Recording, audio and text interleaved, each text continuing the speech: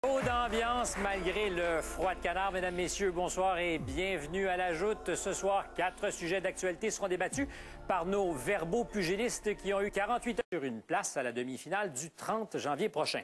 Alors, ce soir, nos débatteurs comptent sur vos votes pour y gagner leur place à cette demi-finale.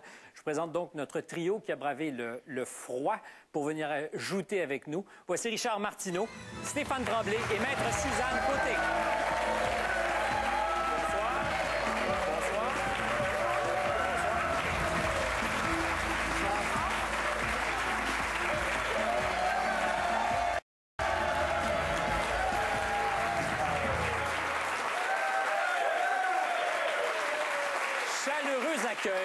Richard Martineau, bonsoir. Bonsoir. Chroniqueur au Journal de Montréal, co-animateur des Francs-Tireurs depuis 10 ans, ce qui n'est 10 pas ans, banal en télévision.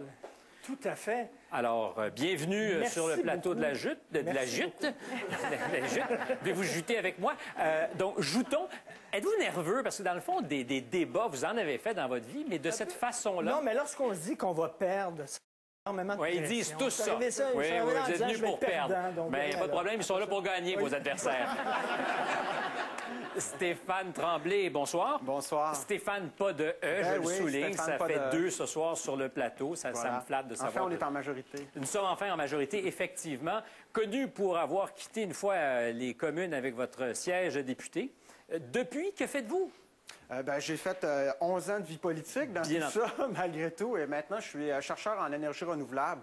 Euh, je, je regarde euh, l'implantation du modèle suédois dans le chauffage des bâtiments. Ça tombe bien avec le froid qui fait là. Ça tombe effectivement à cette circonstance et on me dit que vous avez été coaché par Myriam Segal qui a gagné Ah, notre je voulais pas finale. le dire, mais je l'ai appelée et elle m'a donné quelques trucs. Alors, euh, bon, Nous ben, verrons s'ils seront utiles. espérons-le. Maître Suzanne Côté, bonsoir. Bonsoir. Bienvenue. Euh, plaideur redoutable. Vous avez d'ailleurs été désigné plaideur de l'année, si mes informations sont bonnes, par le monde juridique. Est-ce vrai? Euh, c'est vrai. C'est donc dire que vous serez redoutable derrière euh, cette barre? Pas ici parce que c'est un tribunal différent. Ouais, vous Ah, je suis comme M. Martineau, je suis pas venue pour gagner. Oui. Vous avez l'air tellement d'une femme détendue qui est là juste pour avoir du plaisir. Un peu nerveuse. Un peu nerveuse, mais vous allez voir, ça se passe très, très, très bien après la première ou deuxième minute. Mais les choses vont rapidement. Donc, à tous les trois, excellente joute. Est-il nécessaire de vous rafraîchir la mémoire quand il fait moins 40? Oui. Voici donc les règles de notre jeu. Chacun des trois premiers débats va durer neuf minutes. Chacun de nos débatteurs peut prendre la parole pour un maximum d'une minute. Il est possible toujours d'interrompre ce droit de parole parce que nous appelons le droit de réplique. Maximum de 30 secondes. Voici notre premier sujet. En décembre dernier, au cours d'une manifestation de solidarité pour le journaliste irakien accusé d'avoir lancé ses souliers au président Bush, Amir Kadir, le nouveau député de Québec solidaire, a lui-même lancé un soulier sur une affiche du président américain. Notre Assemblée nationale nous a habitués à un certain décorum et les dérapages occasionnels de nos élus, en chambre ou à l'extérieur, ne plaisent généralement pas à la population. Jusqu'où peut la liberté d'expression d'un député? Richard Martineau, vous aurez une minute pour lancer les hostilités, mais dans votre cas, comme vous avez décidé de perdre, ça va être facile. Euh, une minute pendant laquelle on ne peut pas vous interrompre. C'est la seule du débat. Richard, le chrono débat. Les gens qui lancent des souliers sur des photos, ce sont des gens qui sont frustrés parce qu'ils n'ont pas le droit de parole. C'est leur seule façon de s'exprimer, c'est de manifester dans la rue. Or, M. Kadir, maintenant, il a d'autres façons de s'exprimer. Il y a des places même au pouvoir, deux fois plutôt qu'une. Il est député et en plus, si les chefs de parti n'ont pas chef porte-parole, n'ont pas porte-parole, co-porte-parole. Parce que Québec solidaire, ils veulent être élus pour prendre des grandes décisions, mais ils sont même pas foutus de décider c'est qui leur chef. C'est une autre affaire. Alors, et, ben, premièrement, deuxième chose, pourquoi M. Kadir, il a lancé des souliers sur George Bush? Je comprends, on n'aime pas George Bush, personne n'aime ici, mais il y a une liste d'à peu près 50 dictateurs absolument dégueulasses. M. Kadir vient de l'Iran, un pays où, justement, vivant les homosexuels et les femmes qui sont adultères sont tuées sur une place publique, dans des stades, devant des gens. Tant qu'à lancer une bottine, je veux dire, pourquoi il lance pas une bottine sur la, la photo euh, du président euh, de l'Iran? Donc, je trouve que ça manque de décorum. Je suis un peu tanné de ça. Euh, Lorsqu'on est député, Merci, on Richard. On reviendra sur votre défi un peu plus tard. Stéphane Tremblay, je suis très curieux de vous entendre, vous qui avez été député y avait eu quelques gestes d'éclat dans votre passé de politique. Oui, peut-être que ce soir, on peut considérer que j'ai un déficit de crédibilité. Mais voyez-vous, euh, j'accroche sur le geste de M. Kadir, peut-être sur un aspect plus particulier, qui est celui de la politique étrangère. Je pense qu'on ne peut pas considérer nos chefs d'État, notre premier ministre, nos premiers ministres, comme on considère les chefs d'État des autres pays. Et à ce titre, en politique étrangère, je pense que c'est extrêmement important d'être respectueux. Maintenant, il y a un débat qu'il faut davantage approfondir dans cette question. C'est le rôle du député qui est, quelque chose qui est absolument pas défini. Je pense qu'il n'y a pas un député dans chaque Parlement qui est vraiment euh, certain de ce que c'est le rôle du député. Et à ce titre, est-ce que c'est un représentant, un éveilleur de conscience ou un législateur? Moi, je pense qu'il faut poser la question. Et, et, M. Kadir a tenté peut-être d'être un éveilleur de conscience, bien que je n'approuve pas pleinement son geste. Euh, et j'aurai l'occasion d'en débattre davantage. Alors, vous aurez choisi d'être...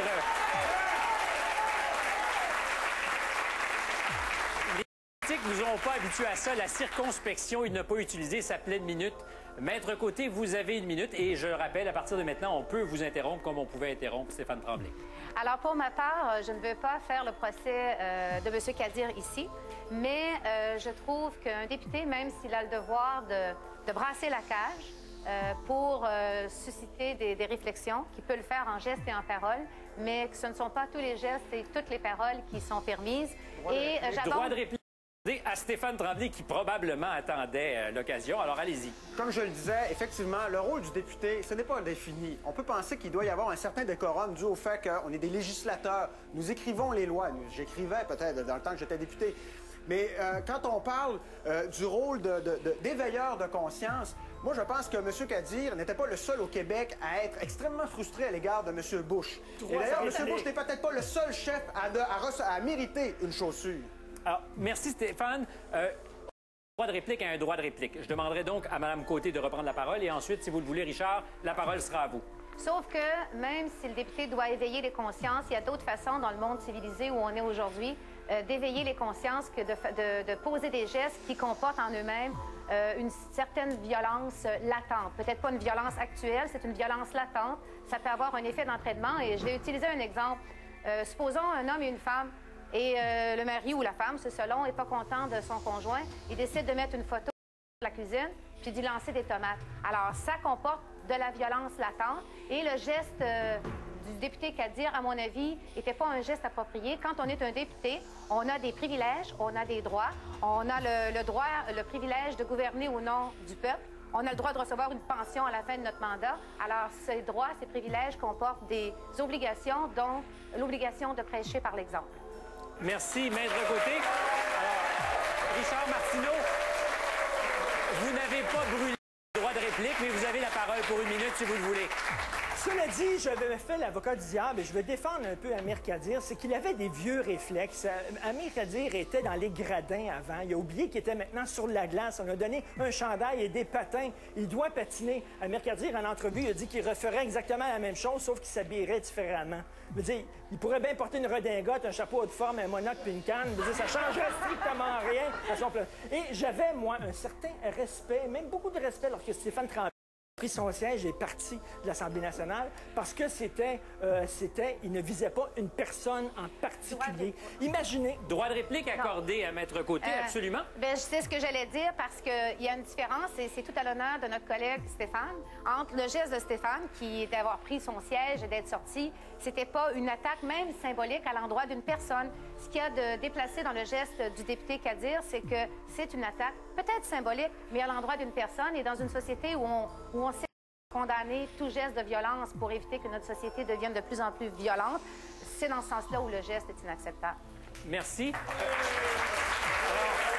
puisque vous avez euh, été interrompu, je vous redonne la parole pour une minute. Je reviens sur le deux poids, deux mesures. Il y a peut-être des gens ici qui sont pas contents de voir Barack Obama prendre le pouvoir aux États-Unis, pas parce qu'il est noir, mais peut-être parce qu'il a peut-être des positions un peu trop à gauche euh, que certaines personnes. Mettons une personne qui est un peu plus à droite économique.